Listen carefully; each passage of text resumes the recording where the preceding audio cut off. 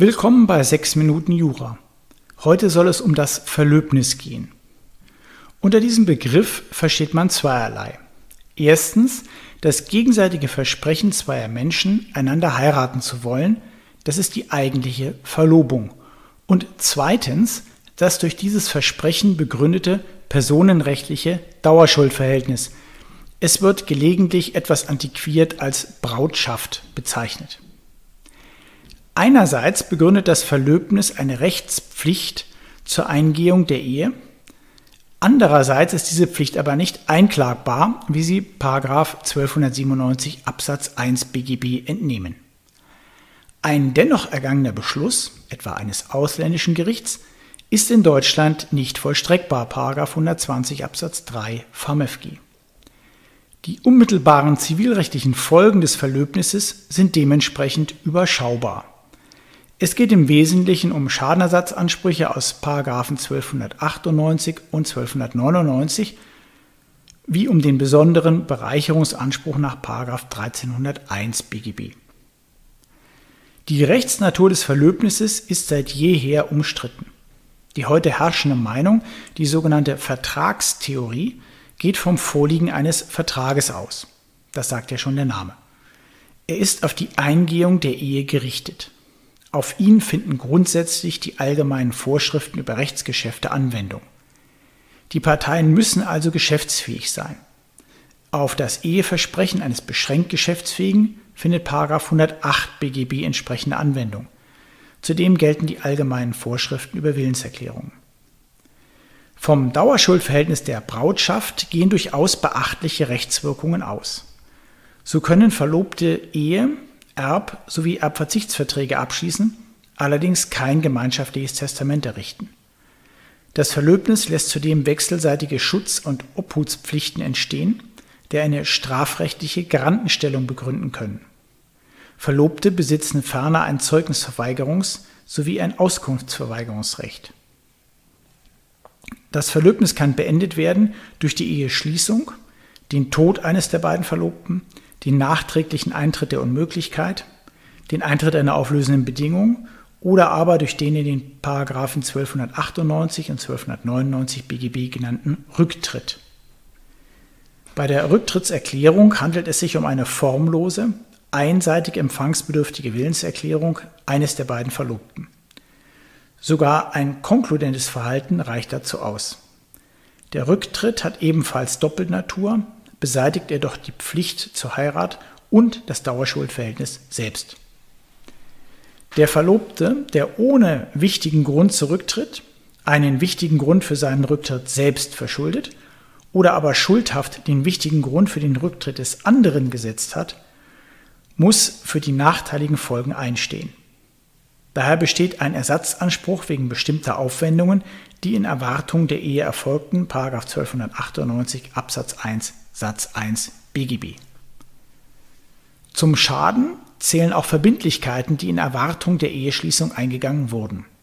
Hier kann also ausnahmsweise einmal ein Vermögensschaden ersetzt werden.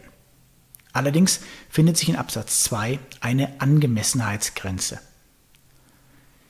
Die gegenseitig ausgetauschten Geschenke können die früheren Verlobten entsprechend den Vorschriften des Bereicherungsrechts zurückfordern, 1301 Satz 1 BGB. Die Norm ist Lex Specialis zu 530. 1301 BGB stellt zudem einen selbstständigen Bereicherungsanspruch dar, der die Zweckverfehlungskondition des 812 Absatz 1 Satz 2 Variante 2 BGB erweitert. Die Vorschriften des Bereicherungsrechts gelten also nicht uneingeschränkt, sondern stets unter Beachtung des mit 1301 BGB verfolgten Zwecks. Umstritten ist dabei, ob 815 BGB anwendbar ist. Zu beachten ist schließlich, dass sich die Herausgabepflicht nur auf dasjenige bezieht, was sich die Verlobten geschenkt haben. Die Norm greift ihrem Wortlaut nach also nicht bei Schenkungen der Eltern des einen Verlobten an dessen Partner. Der BGH hat Vermögenszuwendungen potenzieller Schwiegereltern an potenzielle Schwiegerkinder, die mit Blick auf die geplante Eheschließung erfolgt sind, dem allgemeinen Schenkungsrecht zugeordnet. Daneben kommen die Grundsätze der Störung der Geschäftsgrundlage und der Rückgewehr über 812 Absatz 1 Satz 2 Variante 1 BGB in Betracht, wenn eine entsprechende Zweckabrede feststellbar ist. Das war's zum Verlöbnis bei 6 Minuten Jura. Ich danke für Ihr Interesse. Noch mehr lernen können Sie, wenn Sie jetzt folgende Fragen beantworten. Das Verlöbnis zwischen M und F ist geplatzt. M verlangt nun von F 1300 Euro, die er für eine Zahnbehandlung von F bezahlt hat. Liegt eine Schenkung im Sinne von 1301 BGB vor? Welche Funktion hat die Schadenersatzpflicht der Paragraphen 1298 und 1299 BGB? Wie ist das Verlöbnis von der nicht-ehelichen Lebensgemeinschaft abzugrenzen? Sie sollten die Fragen zunächst für sich beantworten und dazu auf Pause drücken.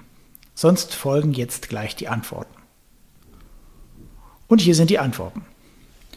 Der Schenkungsbegriff bei 1301 Satz 1 BGB ist zwar weit auszulegen, allerdings ist er gegen mögliche Unterhaltsbeiträge abzugrenzen, denn Unterhaltsbeiträge unter Verlobten stellen keine Schenkungen dar. Die Finanzierung der Zahnbehandlung ist eine solche Unterhaltsleistung, die nicht in Erwartung der Ehe, sondern im Hinblick auf das gegenwärtige Zusammenleben der Verlobten erbracht worden ist. Zuwendungen, die der Verwirklichung des vorehelichen Zusammenlebens dienen, sind aber nicht über 1301 BGB rückforderbar. Die Schadenersatzpflicht beruht auf der Nichterfüllung des Eheversprechens. Es geht also nicht darum, dass im Rücktritt eine unerlaubte Handlung liegt. Daraus folgt, dass neben den Paragraphen 1298 und 1299 BGB Ansprüche aus Deliktsrecht geltend gemacht werden können.